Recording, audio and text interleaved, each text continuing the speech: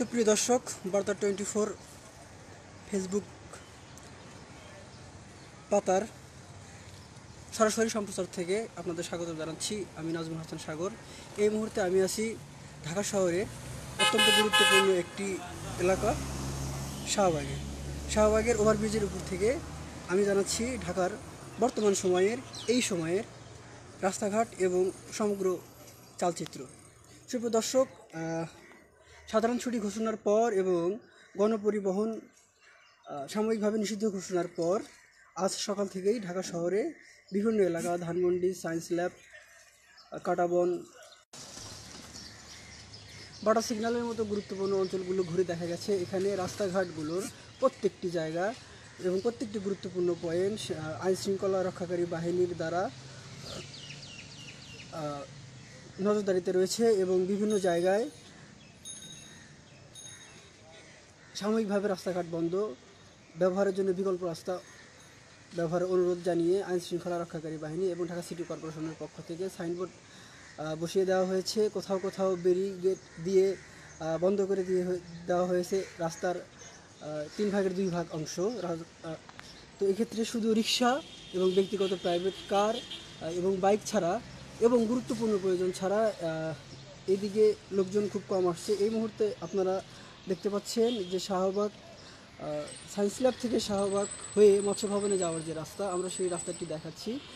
অন্যান্য দিন এই সময় থাকার কথা, তার থেকে কি যে মানে অনেক কম লোকজন দেখা যাচ্ছে এবং জরুরি প্রয়োজন ছাড়া রাস্তাঘাটে এবং ঘরের বাইরে লোকজন বের হচ্ছে না। আমরা অনেকের সাথে কথা বলেছি, কথা বলে জেনেছি, জরুরি কেনাকাটা, চিকিৎসা এবং অতীব জরুরি প্রয়োজন ছাড়া কেউ বের হচ্ছেন না। আমরা রিক্সা চালক এবং ব্যক্তিগত প্রাইভেট কার যারা ব্যবহার করে তাদের সাথে কথা বলার চেষ্টা করেছি, কথা বলে জেনেছি যে খুব প্রয়োজন না হলে বাইক এবং প্রাইভেট কারওয়ালারা বের হচ্ছেন না এবং রিক্সা চালকরা নিজেদের জীবিকার তাগিদে বের হলেও অনেক আতঙ্কে আছেন এবং তারা বিভিন্ন পয়েন্ট এবং নির্দিষ্ট কিছু জায়গায় জড়ো হয়ে থাকছেন, সেখানে গিয়ে যাত্রীরা তাদের সাথে কথা বলে ভাড়া, দরদাম মিটিয়ে যে যার যার গন্তব্যে চলে যাচ্ছে। আর সুপ্রিয় দর্শক, আপনারা যদি, আপনারা দেখেন আমি দেখাই, এটি হচ্ছে একটি শাহবাগ মোড়ের ওভারব্রিজ এখানে ছিন্নমূল লোকেরা, ঘরহীন লোকেরা থাকে সবসময়।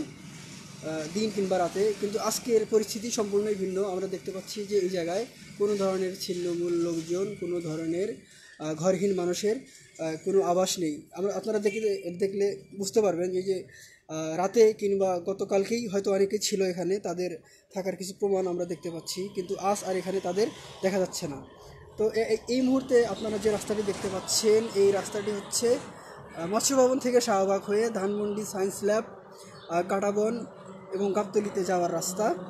এই রাস্তাতেও কোনো ধরনের যানবাহন চলাচল করতে দেখা যাচ্ছে না। জরুরি প্রয়োজনের যে যানবাহন যানবাহনগুলো আছে সেগুলো মূলত জরুরি প্রয়োজন। আমদানি রপ্তানি কাজে নিয়োজিত ডাক্তার এবং গণমাধ্যমের কিছু গাড়ি চলতে দেখা যাচ্ছে।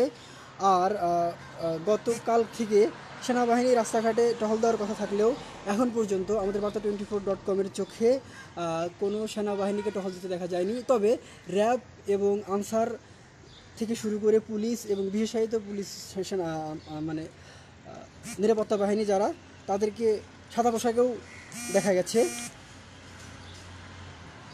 সুপ্রিয় দর্শক, আপনারা এই মুহূর্তে দেখতে পাচ্ছেন কিছু সিএনজি চলতেও দেখা গেছে যদিও।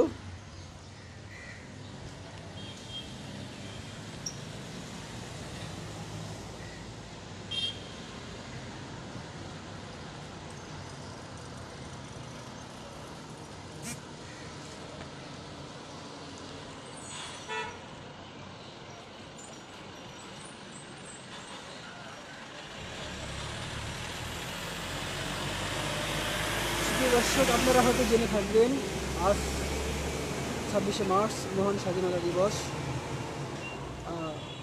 স্বাধীনতা অর্জনের পঞ্চাশতম বছরে পদার্পণ করেছে বাংলাদেশ। দিনটি উদযাপনে ঘটা করে নানান আয়োজন ও কর্মসূচি থাকার কথা থাকলেও করোনা পরিস্থিতির কারণে করোনা বিশ্বব্যাপী করোনার প্রাদুর্ভাবের প্রভাব বাংলাদেশে এসে পড়েছে। সেখান থেকে বাদ যায়নি ঢাকা শহরও। আমরা এখন যে মুহূর্তে দাঁড়িয়ে আছি, এটি ঢাকা বিশ্ববিদ্যালয় পিজি এবং বঙ্গবন্ধু হাসপাতাল এলাকা। এখানে স্বাধীনতা দিবস হলে নানান রকমের আয়োজন এবং লাল সবুজে সজ্জিত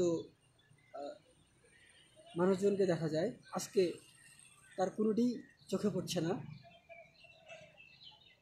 করোনার প্রাদুর্ভাবে নিজেদের স্বাধীনতা উদযাপন না করতে পারার এই আক্ষেপ নিজেদের নিরাপদ ও নিরাপত্তার স্বার্থে অনেকে মেনে নিলেও অনেকের সাথে কথা বলে জানা গেছে, তাদের ভিতরে রয়েছে চাপা ক্ষোভ। মূলত এই পয়েন্ট থেকে আপনার এই পয়েন্ট থেকে ঢাকা ঢাকা শহরের সবথেকে গুরুত্বপূর্ণ পয়েন্ট শাহবাগ শাহবাগ গাবতলি থেকে কারণ বাজার হয়ে গাবতলী থেকে ফার্মগেট কারণ বাজার হয়ে এই এলাকায় এই এলাকায় হয়ে ঢাকার অন্য পাশে যেতে হয়, আবার মোহাম্মদপুর, ধানমন্ডি, হাজারিবাগ হয়ে ঢাকার ভিতরে কোথাও যেতে গেলে এই এলাকা হয়ে যেতে হয়। এবার এই সকল ধরনের যোগাযোগের প্রাণ বা মূল কেন্দ্র এই শাহবাগ যখন জনশূন্য, তখন আসলে বোঝা যায় করোনার প্রাদুর্ভাব, করোনা পরিস্থিতি বাংলাদেশের মানুষকে কতটুকু শঙ্কিত এবং কতটুকু দুশ্চিন্তার মধ্যে ফেলে দিয়েছে।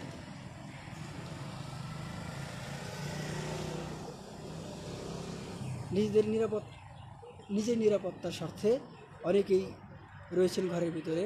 জরুরি প্রয়োজন এবং অত্যাবশ্যকীয় প্রয়োজন ছাড়া ঘর থেকে বের হচ্ছেন না কেউ। সরকারের নির্দেশনা, আইনশৃঙ্খলা রক্ষাকারী বাহিনীর অনুরোধ, সব মিলিয়ে সাধারণ জনগণ যখন ঘরে, তখন আমরা বার্তা টোয়েন্টি ফোর ডট কমের সংবাদকর্মীরা আপনাদের জানার অধিকারকে সম্মান জানিয়ে আসি মাঠে। আপনারা ঘরে থাকুন। আপনাদের জানার আগ্রহকে সম্মান জানিয়ে আমরা ঢাকার বিভিন্ন পর্যায় থেকে, বিভিন্ন জায়গা থেকে আপনাদেরকে সরাসরি আমাদের সাথে যুক্ত করব। আপনারা মেটাবেন আপনাদের জানার পিপাসা। আপাতত বিদায় নিচ্ছি। আমি নাজমুল হাসান সাগর, স্টাফ করেসপন্ডেন্ট, ঢাকা শাহবাগ থেকে।